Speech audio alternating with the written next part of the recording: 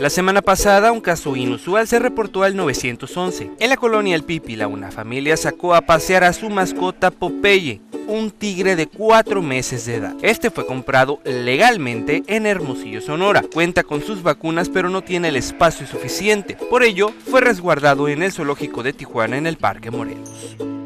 Popeye está en buen estado de salud de acuerdo al médico veterinario en el Simpat. Le cortaron las garras por lo que la familia convivía sin tanto peligro. Todavía no tiene desarrollado al 100% los colmillos, por lo que sus juegos aún no causaban estragos. Mm, Profepa nos pidió apoyo para que los auxiliáramos en el, digamos, pues rescate o en la valoración del animal y vimos que el animal pues sí tenía un buen trato.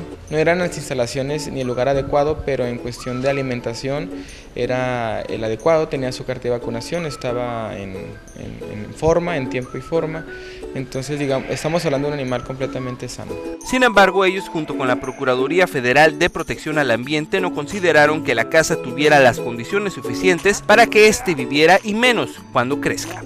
Solamente se va a resguardar hasta que los propietarios tengan las instalaciones adecuadas, una vez revisadas por Profepa y tener la documentación que se necesita, ya van a disponer de nuevo con el animal, ya sería decisión de Profepa. El director del SIMPAD, David Mondaca, señaló que tiene la capacidad para atenderlo, aunque su alimentación sí llega a ser costosa, pues se alimenta principalmente de carnes. A esta edad, Popeye consume 4 kilos de pollo o res al día. Recursos destinados anualmente, sin embargo, siendo honestos por eh, eh, en el alimento se va un, alto índice de, dinero.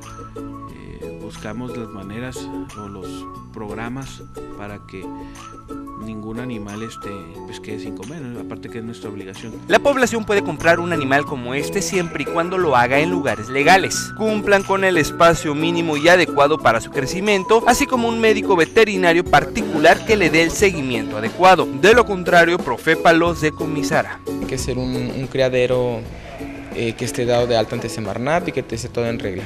Una, pero pues malamente eh, se compra un animal sin no tener antes previamente las instalaciones y para ello tú necesitas un permiso ah, también ante Semarnat para poder tenerlo como mascota y también para eh, ocupas un médico veterinario para hacer un plan de manejo y poder tener ese tipo de animales con las instalaciones, protocolos de seguridad.